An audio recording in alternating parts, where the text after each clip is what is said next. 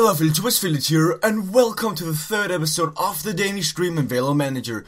This video was actually supposed to go up yesterday, but since I was really, really, really mad yesterday, I didn't feel like making a video. Let me just explain you why. So in Denmark, when you're 18, you can get your driver's license, and I'm getting my driver's license, and I had my test yesterday with a police officer at my side driving around in uh, downtown Sonneborg, where I need to get my driver's license, and I basically failed for a bullshit reason.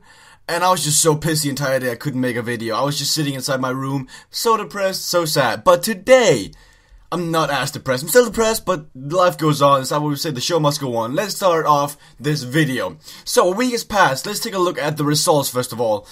By the way, guys, let me hear which division are you in? Because I already know that I know where the code is at. I know where Sharp is at.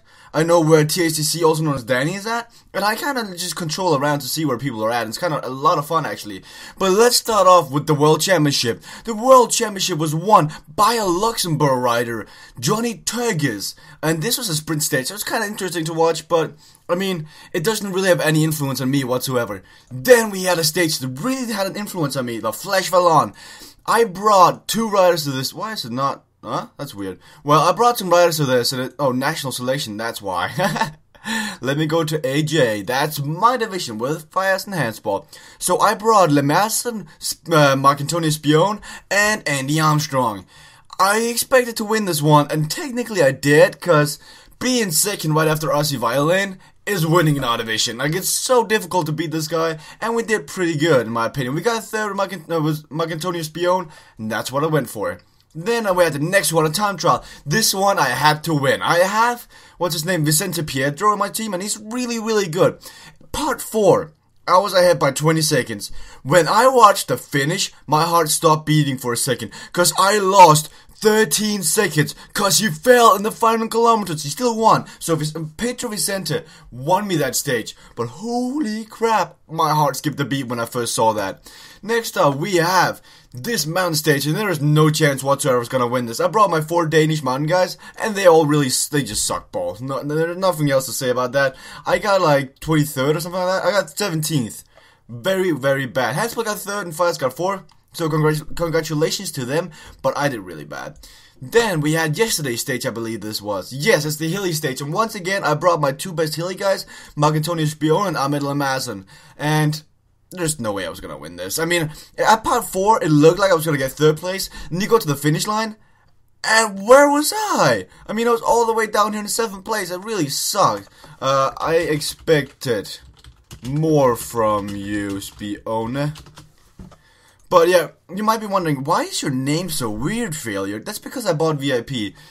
Uh, this is not an advertisement to buy VIP because having VIP really makes no difference whatsoever. I just have so much money. I start giving back to Velo Manager and just just for the fun of it. I mean, five bucks is not a lot in my, my opinion, in my case, because I'm also since I'm turning 18, I'm gonna receive a lot of money from the government, which is always great.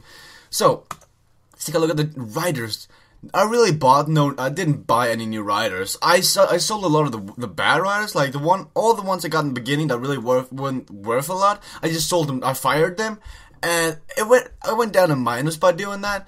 But I get plus money every day now. I don't have to pay their wages, and it's pretty good. So I guess you can just show you. I can show you. You can stop the video and check my riders if you want to, and you can ask me in the comment section below how much I paid for them. But I mean, you can just go on the transfer market and do what I told you with like searching for one dollar or searching for two thousand and get what you get what they need. Also, guy, also guys, a uh, tip that I forgot to mention to you guys. I would recommend putting the resting limit at 87. This way, you're guaranteed to always have your riders in shape for a stage, while also getting some, uh, how do I explain this? Getting some uh, experience, getting some higher stats.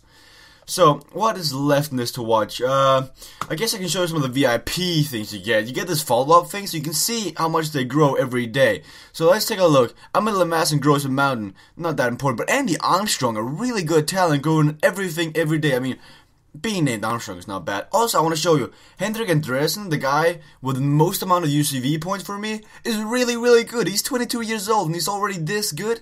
I can't wait for this guy to be like 27. He's gonna have everything above 75, which is really good, and I can sell him for quite a lot. But that's in three seasons' time, so that's gonna take a long while.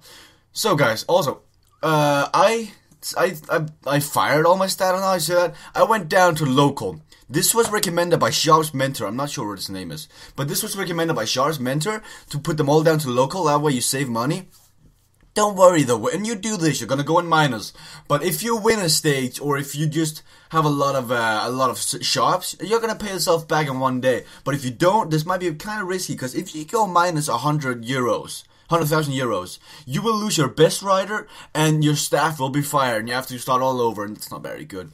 By the way, guys, you cannot have two accounts. If you're thinking about cheating and making a second account through like hidemyass.com and sending 500,000 to your main account, you will get banned. Sharp and his friend tried doing this, and his friend got banned. So watch out for that. I also know the Fires did this. And guys, I want to say thank you to you guys, first of all, because a lot of you guys said thanks to my mentor. Let me just find him, CLHS. You all said thanks to him, but you asked him more questions. And you gotta be careful about this, because this guy, it seems like he's getting pushed. Like, I mean, I love that you guys are saying thank you to him, but watch, watch out though, because you're asking him a lot of questions, and I already asked pretty much all the questions that you guys have been asking, and I've got all the answers to it. So if you just message me instead, and I can message you back, that's way better. Kevin and I, or the code and I, have been doing this. Instead of the code asking my mentor, he's asking me, and then I go to my mentor, or I ask, or I respond to him with the answer.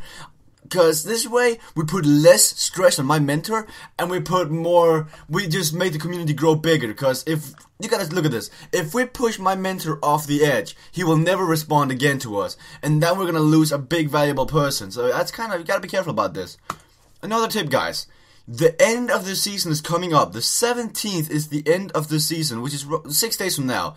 You will lose one level in every equipment. So you will go down one level in every equipment if you bought equipment. So you gotta sell it. The 16th, you gotta sell all your equipment and buy it back to the 18th. Just so you know that, so you don't lose all your money, which would be kind of catastrophic. Uh, also, at the end of the season, you're gonna be able to make a course, and this is kind of like a training camp, and they will get like boosted stats. I, I believe they'll get like plus three in the stats you choose. So uh, choose careful. It costs 500 per day. So if you choose, if you're in low, if you have no money, I wouldn't recommend doing this. But actually, I would just do it anyway. You'll get the money back if you have a lot of shops.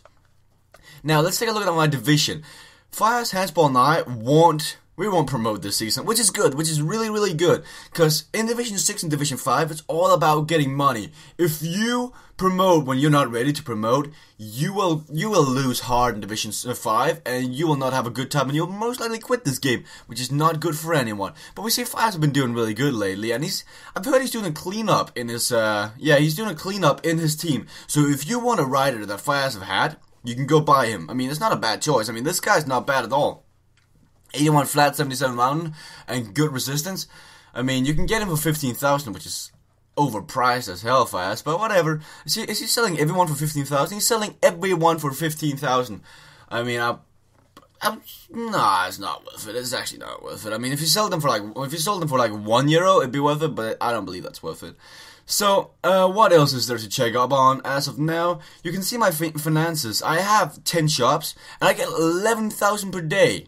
So I right now I get eighteen thousand per day without doing anything, and every race benefit, uh, every race benefit you get is just bonus.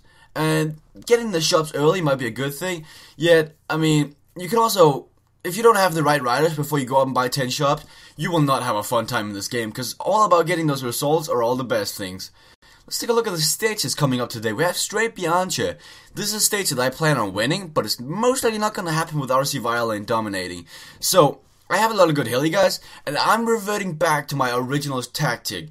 Because in the last hilly stage, Ascal Liazo, which is uh, RC Violin's best hiller guy, he's probably got like 95 hill. He went away in part, what? Oh, he went away in part 2, and this time I plan on following, I plan on following him this time. God Dang it, go to this one. Okay, he went away in part 2 with like 1 minute. I mean, you can see it right here. He's got 1 minute on these followers and he's got 2 minutes on the rest of us. So I'm planning on trying to keep up with him by doing 75, 75, 75, 85, 90. I mean, I gotta do something because I'm tired of losing to this guy and I'm gonna try something. It's It might not work out, but I mean, you don't lose anything really, so you just gotta try your best. The guys that I'm bidding on right now will be uh, uh, Ulibek Regimentov, which is the Uzbekistan guy, and he's got really good cobblestone. I'm looking to get a cobblestone right uh, right as of now. I only have Hendrik Anderson, and the guy's not good enough to win. So I am bidding twenty thousand on this guy. Please don't go outbid me, guys. That'd be a douchebag move. So I'm trying to get this guy. Most likely won't get him since you see the the similar race uh, recent transfers are above hundred thousand, and I'm not willing to pay that. Also bidding on another guy. I am bidding on this guy, uh, Ivan Nevzhemyashev. He's a Kazakhstanian rider, and he's got a really good mountain, and I'm looking to get a mountain rider because I have been doing terrible in the mountain so far. My Danish guys have really let me down. So, guys, I think that's all for this time. If you got me any questions, or if you want to ask me anything, just put it in the comment section below. Actually, we can just go check out how Sharp and those guys are doing. See, I know Sharp is an AF, uh, Sharp AF. Where's AF? I'm probably skipping it. Uh, AF, AF, AF. So tell me in the comment section below which division you're in, what's your name, and if you got any questions, just ask me. Yes, we see this is Sharp's team. He's done really good. He's, he's bought two guys, not bad at all. We also have the code in. Oh, what the heck? We have the code in AT, which is also he also won his very first stage, I believe. He's done really good so far. So we can just take him out. I think his team, yeah, his team is U.S. Postal. Already got one victory. Not bad at all. So, guys, that's gonna be it for this episode. Sorry for not getting it out yesterday. I was really mad yesterday. But if you stayed all the way to the end, let me know in the comment section below as well. Thank you guys for watching, and see you guys later.